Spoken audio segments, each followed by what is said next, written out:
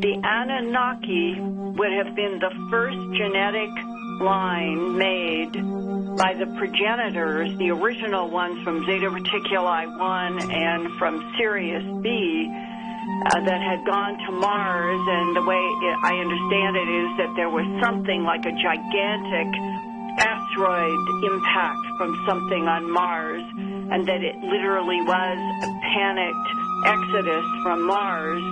And they came to Earth as the planet where they hoped that they could uh, survive and that the progenitors were already in a weakened state, apparently, on Mars. And by the time they got to Earth, they knew that as a civilization they were in trouble and they started working because these are still very sophisticated. Uh, I want you to hang on to the idea that we're talking about uh, an intelligence that can move around, at least in this arm of the Milky Way galaxy. And they could mix and match genes.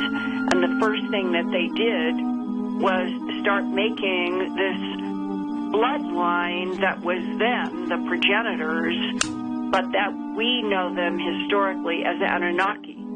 So that the Anunnaki would be the closest to the original progenitors. And then the Anunnaki made the Astro Albus. And that was a tall, pale skinned, light blue eyed humanoid.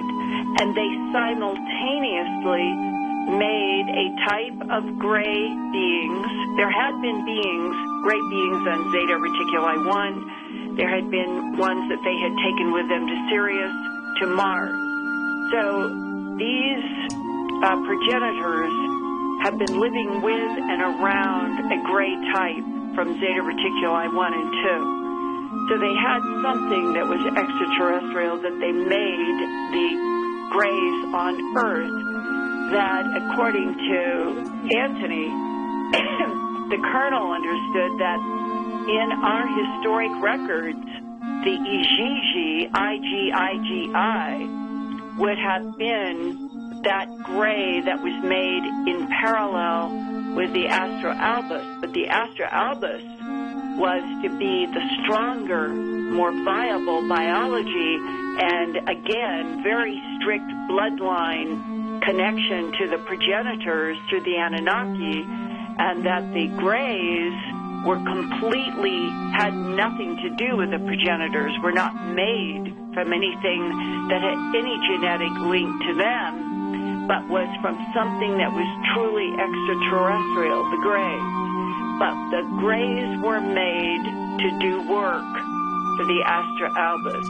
And apparently that's where things went awry eventually, that there was a rebellion of some sort on the part of the Greys, and that there has been conflict between the Talls and these Greys for centuries.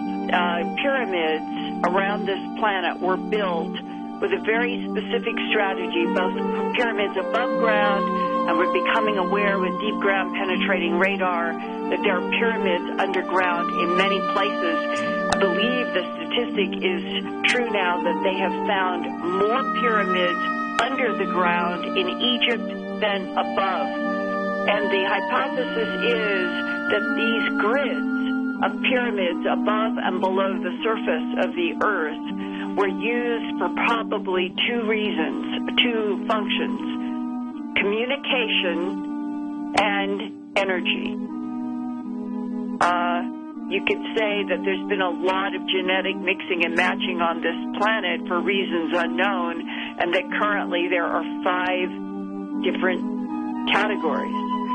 R.A.F. Bentwaters, Jim Penniston, who touched that black glassy craft, dragged his fingers across those raised symbols, activated something in the self-activating craft, gets binary numbers that come down in his head, and in addition, he gets communication that this is a time travel machine, this black glassy triangle, and that it is coming from an extension of us in the future. That was his term, 50,000 years in the future, where what has happened?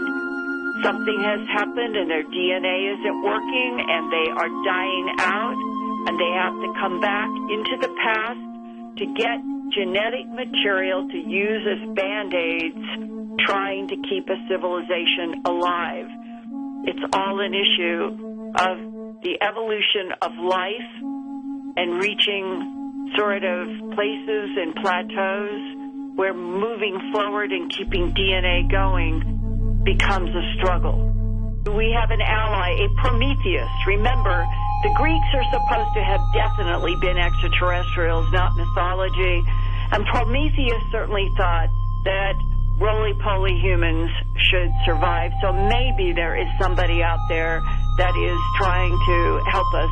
And Jim was shown a 35 millimeter slide that had a blue beam coming down out of the sky on an area where there was a mutilated animal, and it retained itself in the, for the camera to take images. And they went back to the site and tried it a second day, and the blue beam, whatever it was, that had interacted with the animal was still being picked up on 35 millimeter color film. And the Nommo that the French anthropologists were writing about was a name that the Dogon tribe was using for their so-called gods who came out of the water and that when they described them, the uh, humanoids had some kind of scales. And when you go to the Anunnaki and you look at the uh, carved stones, there are also uh, beings that look like they have fish fish scales on them. Others look like maybe the like the Ubaid figurines that uh, look so much like reptilian, uh, like standing up alligators with uh, dots all over their skin. Those are all part of the true, honest to God, physical Mesopotamian history on this planet that has puzzled people, and now it's beginning to make sense in the context of everything that the Colonel has been telling Anthony Sanchez. So the question about whether we're dealing with physical extraterrestrial biological entities, I don't think there's any question about that.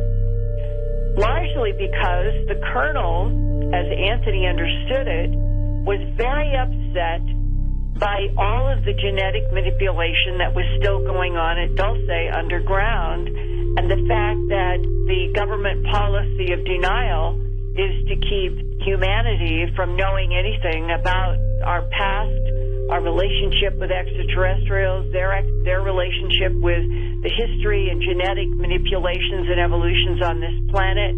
And uh, he, like a lot of people, I have met a lot of people who are frustrated, upset, and angry because they have been exposed to this huge lie, this huge disconnect between the planet that we're living on under one so-called set of history and completely different other reality. And it really gets to people I, like me. I think we should all know the truth and go on from there. One in the uh, early 1950s and one in 1979, where allegedly at Dulce and another at Area 51 that there was some sort of an altercation uh, between the gray beings and humans and that suggests that things are not peaceful there either. So, what kind of uneasy alliances are there between the humans and the extraterrestrials, let alone all of the violence and war that is going on among humans on the planet right now?